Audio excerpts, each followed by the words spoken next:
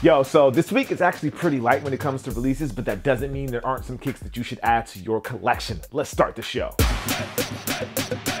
Welcome to the Heat Check. I am your host, Jacques Slade, and this week I'm actually going to keep it pretty short because I feel like there's only a few things that you should be really interested in or that you should pick up for your collection. All right, starting with the Air Jordan 14 Last Shot. Now, most of you know the story of this shoe, how it was the actual shoe and the colorway that Michael Jordan wore when he took his last shot as a Chicago Bull. You also know that the shoe's design was inspired by the Ferrari 550M, which is where the logo comes from on the side panel. These are dropping on Thursday, and if you want to grab a pair of those, they will cost you $190. Moving over to the Air Max side of things, we have the Air Max 90, which is one of my favorite models in this multicolor colorway. Nike is billing this one as a quick strike, and those will cost you $140.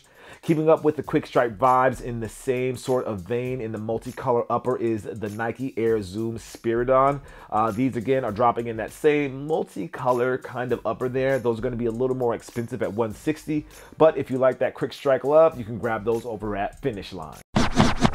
The buzz around the Adidas Ultra Boost has been a little tame for the last few months, but Adidas is still cooking under the Ultra Boost silhouette. Dropping on the 13th is the Ultra Boost Clima, which will be arriving in a black and in a white colorway. It looks like Adidas did a really good job with the prime knit on these uppers, and those will cost you $200.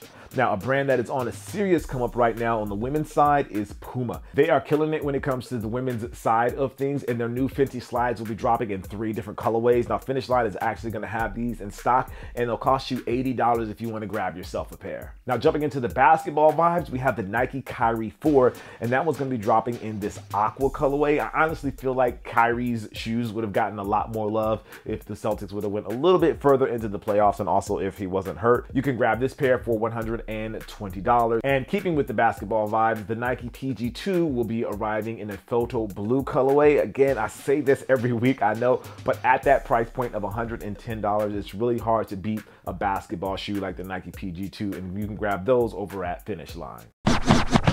Now, for you old school sneakerheads, you are actually in for a treat as the Air More Money will be releasing this week.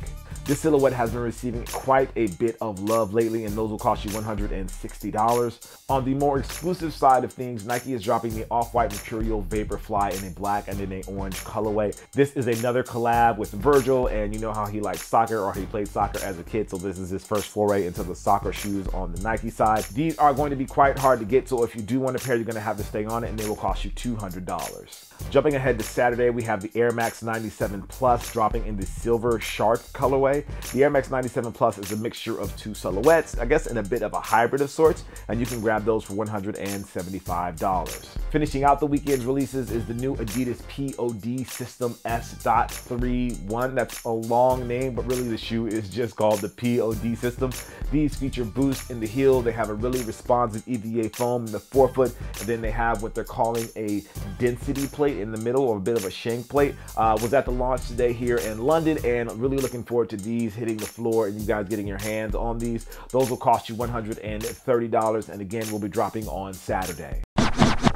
All right, so with that being said, that is going to do it for the show today. As always, I try to give you guys everything that I think you'll definitely be interested in. As always, I am Jacques Slade. This is the Heat Check presented by Finish Line, and I appreciate you. I'll see you guys soon. Peace.